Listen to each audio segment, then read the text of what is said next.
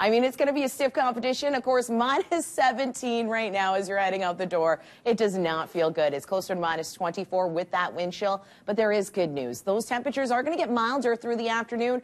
Of course, we do have some light snow on and off through the morning hours, but minus 4 later this afternoon here in the city. It's going to be cooler in Airdrie and Cochrane sitting at minus 7 today, minus 12 for Strathmore. We're expecting minus 8 in Chestermere and then a little bit warmer for Okotoks at minus 3. But of course, uh, those morning flurries continue for the mountain ranges as well. Kananaskis and Canmore minus 5 today, minus 7 for Banff.